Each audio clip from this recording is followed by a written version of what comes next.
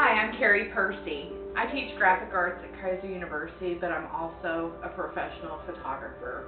And I'd like to teach you a little bit about food photography and how you can do it on little to no budget and if you have a great camera. So first I want to talk to you about taking pictures, simple pictures with your iPhone or iPad, your smartphone, um, pictures that could be easily used on the web, um, places like Pinterest. And also, I would like to show you how to use a DSLR to take good food photography. So let's get started.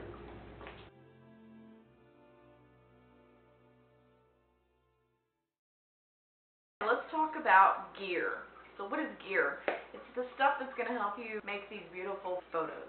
So one thing you need is a camera of some sort. My suggestion is start small. If you have a smartphone, start with that. Eventually you're going to want to work your way up to a DSLR camera to take your pictures, especially if you need them to be high resolution for print publishing like magazines and cookbooks.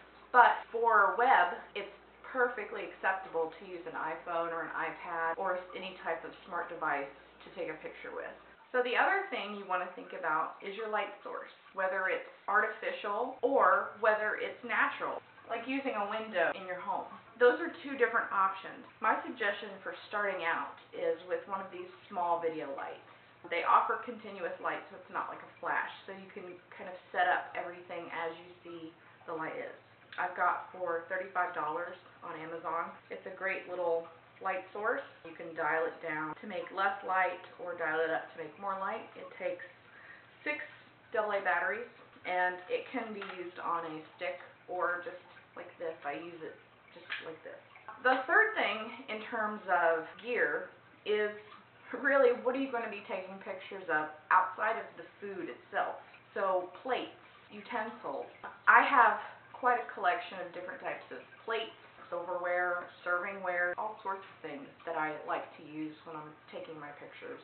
Less is more when it comes to food photography. You want the food itself to be the star of the show, but you want to display it in a way that's most appetizing. To do that, you want to think about colors and textures. Keep it to a minimum, but definitely introduce other colors and textures into your photography. So what I want to show you first is my basic food photography setup. What I typically use is this table right here in front of the window. What's great about this is it allows me to get right over top of it. So I have my phone charged and ready to take pictures. I'm also going to later show you how to use the DSLR. The first thing you want to do is turn off any lights in your house. Those are not suited for any kind of food photography. So just allow the only light source to be your window. Okay, so we're going to style this table. First thing is all white. So I have a lot of these rags that I got at uh, Target, basically. You can get them at Walmart or Target. And they're wrinkly, kind of just the way I like them. So I'm going to start off by just positioning that as my tablecloth. It's showing through a little bit of the of the dark table itself. So I'm going to add just another one. These have great texture, and if you absolutely feel like you need to iron them, iron them, definitely if you want a very smooth and clean look, iron these. But I, what I'm going for is texture, so that's what we're going to work with.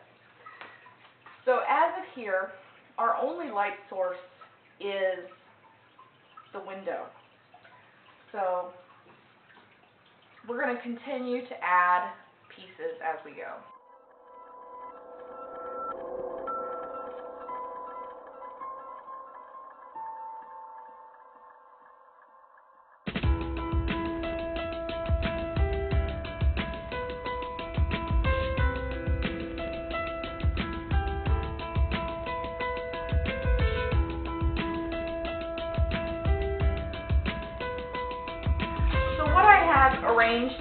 Something very simple, something you don't even need to cook. So this is a great way to get started practicing. I've added a couple different layers of things, which layers are good. You don't want too many layers, but layers are good. So I created a plate with a bowl in the middle and eggs. Now these are raw eggs, but I don't plan on taking a very long picture, so I'm going to put these back in the fridge when I'm done. I also added a train of salt, and I, I poured the salt in in such a way that it piles up in the middle. So what I'm looking for is something simple there's lots of white. This glass is jet black. It may or may not be useful to have that in there because it's so different than everything else, but I did have a black handle on my knife. So I thought maybe we'll make that work. So what I'm looking to do, and a lot of times I post to Instagram, so I'll choose the square option. And I never post directly. I always edit my photos within the camera. So I'm going to do a straight down picture. And I, I, I've decided I don't want that glass there. As I'm looking through the viewfinder, seeing that that's not what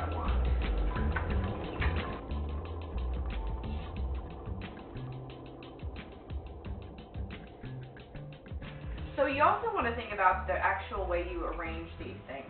Typically, you want to go with odd numbers if you can. I went with three dishes. That's entirely up to you what you think is maybe too much or not enough you can add. So I'm going to look look through my viewfinder again and decide, you know, what what angle do I want this? How is going to look best? And do I want to include the entire plate or crop off little bits of things? So, so what we have here is a nice composition. There's angles going this way and the napkin's going that way. So we have nice intersection. We have a lot of white, but that blue is really popping off. So it's also it's almost become the focal point. So what I want to do is I want to rearrange it so that the eggs are the focal point.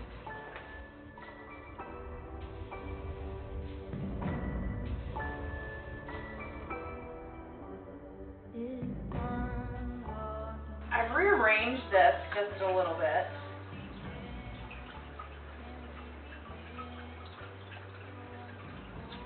Actually quite a bit.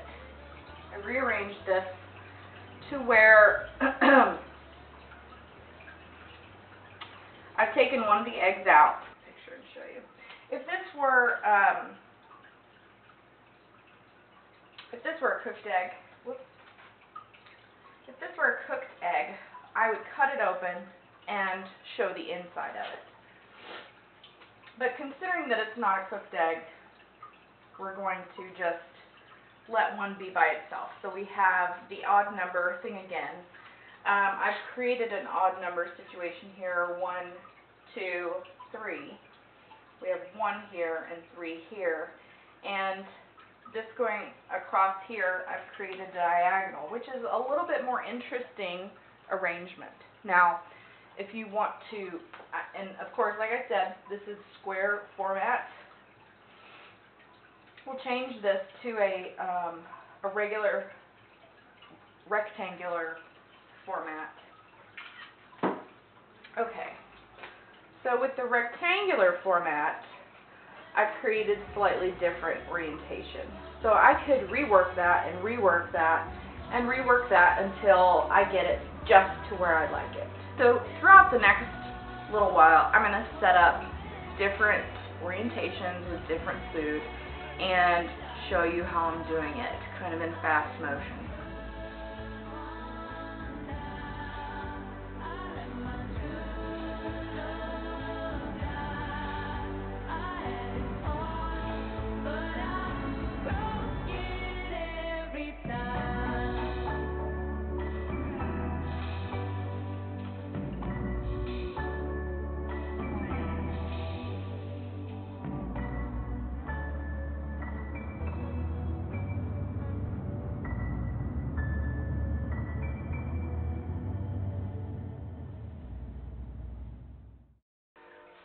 May be a lot like me and decide to cook or bake at night after dark.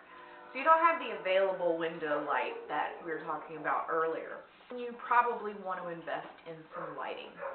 Now there's a lot of different types of lighting that you could use. I showed you the video light earlier, which is a great small source of light. But if you're looking for something bigger, um, that puts out a lot more light, then a stand light is the way to go. Now these run between fifty and five hundred dollars. So if you are interested, I again say start small, start out with what your budget can afford, or maybe look into borrowing some lights from someone else. This light has a diffuser on it, so um, if you ever see that with the diffuser, that's a great addition. And it should come with all soft boxes, and they're called soft boxes because they have the diffuser. So make sure you get one with a diffuser. It diffuses the light so it's not so harsh. Makes a much prettier light. So we're going to position the light.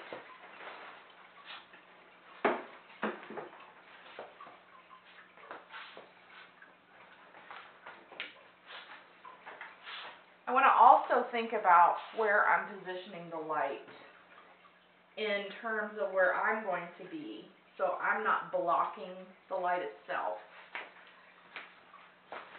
I'm also going to use the second light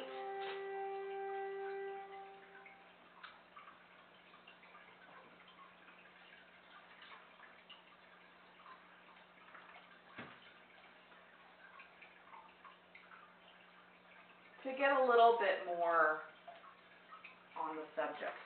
So now I have my light positioned. I'm, I want to make sure I'm not in the path of the light. And I'm going to take a picture from here and just make sure I'm I'm looking at the subject itself to see that everything that I want to be lit is correctly lit and positioned in the way that I want it positioned. So maybe instead of three walnuts,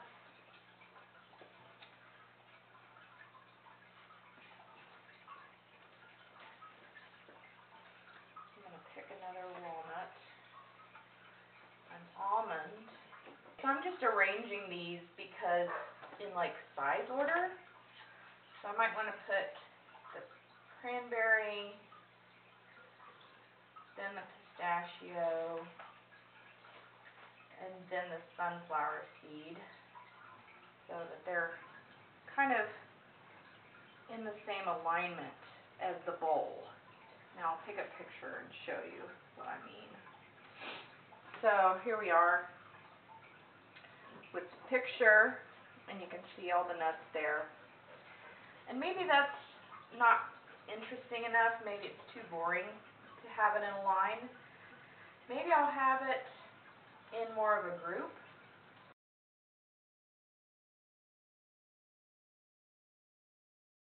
Maybe I want to get a closer up shot of those five things with just part of the bowl.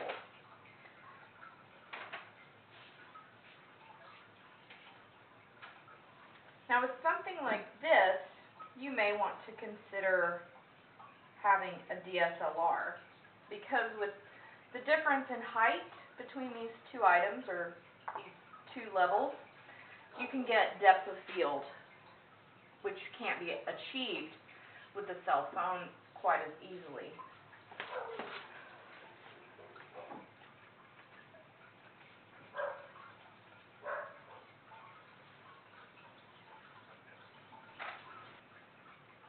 So that's a great picture where these nuts are in focus, and these are out of focus. And I can take that a step further by actually getting closer.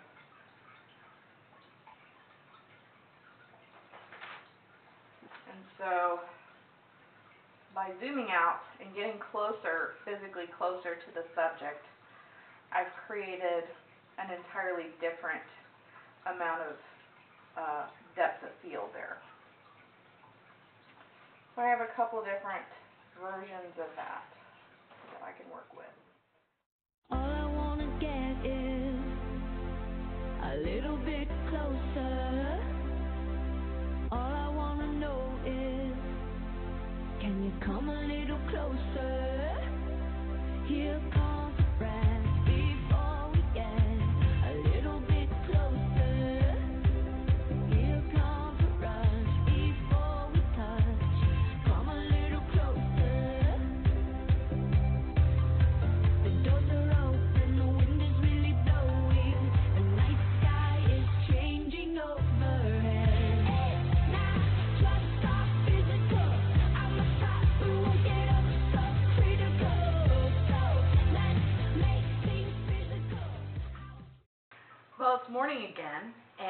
time to do another food setup. But I wanted to talk to you a little bit more about the DSLR camera and the benefits of having one and using one. So this is mine. I use both Canon and Nikon. People ask me quite often which one's better. There's really, really, they're both great, great cameras. Uh, they they both make very powerful cameras, and it's really a personal preference. In terms of the price, you get what you pay for. So if you purchase a cheaper Nikon or Canon, you're not going to get a lot of the bells and whistles or the quality that you would get with a more expensive one. And think about what you're going to be doing with it. Will you ever be wanting to do video? And since I do video, I chose this particular Canon. It's the 6D camera. One thing that you need to know is how to use your DSLR in manual mode because you'll get the best quality pictures in manual mode. So the first things you want to understand is what ISO is. ISO stands for International Standards Organization, which really means absolutely nothing. But when you're thinking about ISO, that's the first thing you're going to set. And you want to understand how bright the area is that you're going to be shooting in. Now, our eyes are similar to the camera, but our eyes are automatically adjusting and focusing for different light changes. So our ISO, think of it this way, is the sun on. ISO is the sun on. So right now, the sun is on, but we're not directly in it. So we're indoors with indirect light.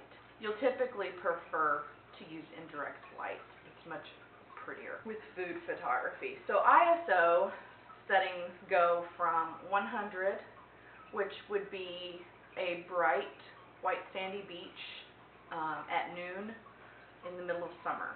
So the brightest possible setting would be 100 ISO. And that would be the most bright situation you could possibly imagine. And that goes to the other spectrum, which is I would go up to about 1600. You can go higher, but the higher ISO number, typically the less light you have available to you. And the higher number you add a lot of grain. Now, grain is great for an artistic viewpoint, an artistic look. But typically with food photography, you don't want a lot of grain. So keeping the highest point at 1600, if it gets too dark, add some light, add some artificial light to what you already have with natural light. So I try to stay within the 800 range. I get a nice contrast, lighting, everything works as long as I have enough lighting uh, available to me. So after ISO is set, so for this particular scenario, I'm setting it at 800. The next thing you want to notice is both your shutter speed and your aperture. Now your aperture is the opening that allows light to come in. So when you take a picture, it opens and closes. The speed at which it opens and closes is the shutter speed. So when you set your uh, aperture, also known as your f-stop, you're going to want to set it depending on the situation. Now, a lower number f-stop lets more light in. So if you have a low lit situation, you can have a lower number f-stop or a wider aperture. If it was, like I said, at the beach and you're on white sand, then you want a higher aperture. It makes a smaller opening, which lets less light in. Also, what happens with the aperture is it can affect the depth of field, which makes things that are farther away look blurrier. And that increases through the aperture and it also increases the distance the cam the camera is physically away from what it's focusing on. Now the shutter speed is what I consider the most variable and easy to adjust in small increments.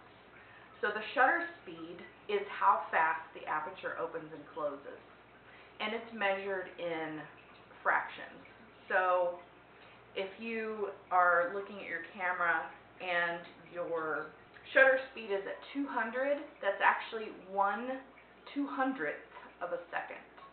So it's going to take the picture, the aperture is going to open and close in one two hundredth of a second. And that's very fast. I say don't go under 30, 1 30th of a second. I try to stay 60 or 1 60th of a second because your if you're shaking, your hand is shaking at all, if there's any movement in what you're taking a picture of, it's going to turn into a blur or it's going to look blurry. And there's not a fix for that in Photoshop, folks. ISO, aperture, and shutter speed. So let's get started with our bread.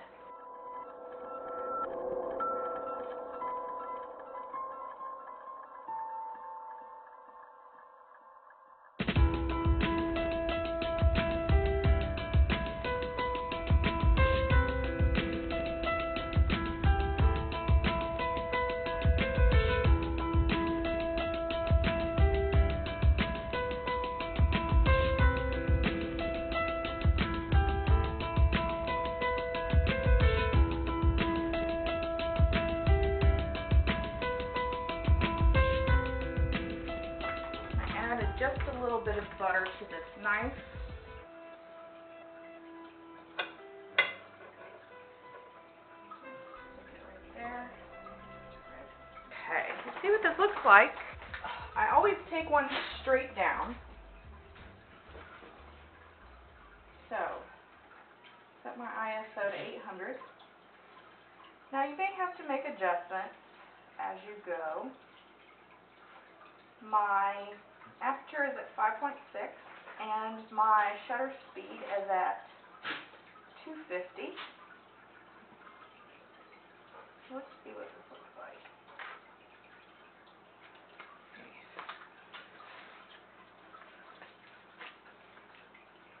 Pretty beautiful.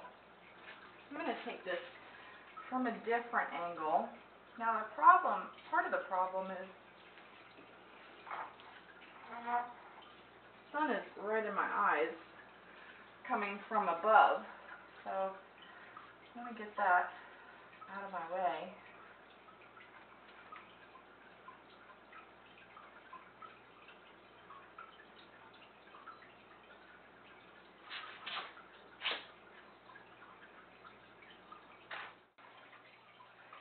And I always take a few different options I can work with. It's much brighter. I'm going to show a little bit more of the texture of the bread.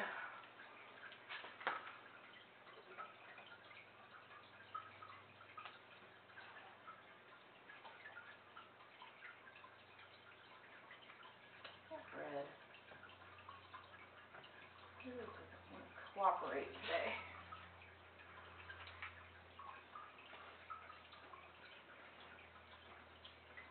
So with this, I'm much closer, and I have a much more shallow depth of field. In other words, this bread is going to be in focus to the point that this bread is completely out of focus. So, um, the area that's in focus is just the middle of this bread right now. Another one a little bit lower.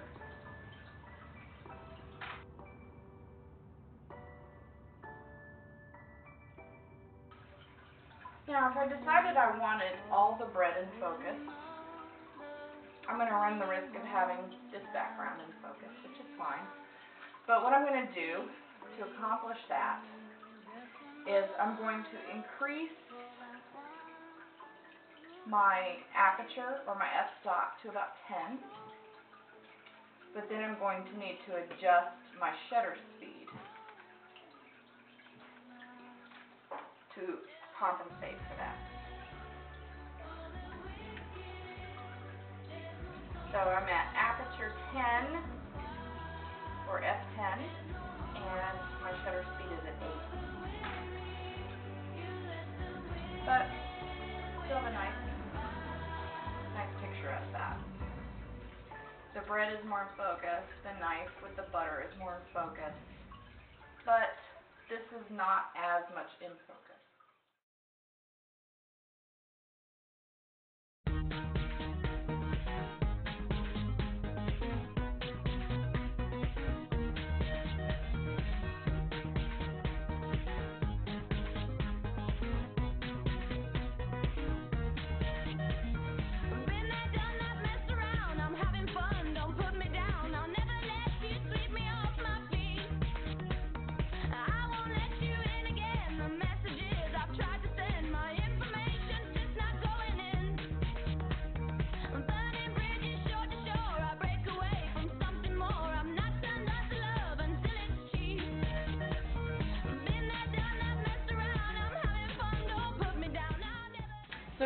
Have our setup for this beautiful cake that I want to take lovely pictures of, but I want the cake to be the star clearly. So I've done two things. I've created a tabletop here on the end of my bar in my kitchen, rather than using that low table, that small table, because I can take up a lot more space here. Um, and I've used that black fabric that I used earlier to create a backdrop. Now, what I've done here is I just used a table, a folding table, and set it up on my counter in the exact spot that I was decorating this cake. So I just moved the cake from here to here. Now, I have both my window light and this light available to me because I want to get the best possible look.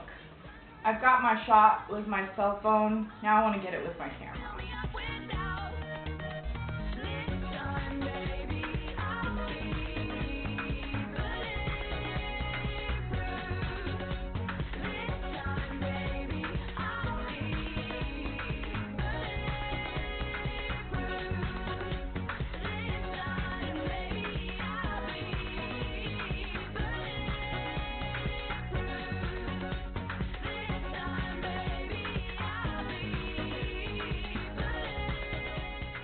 That wraps up this food photography video. I hope you've been well educated and aren't afraid to get started trying with at least a window and a smartphone.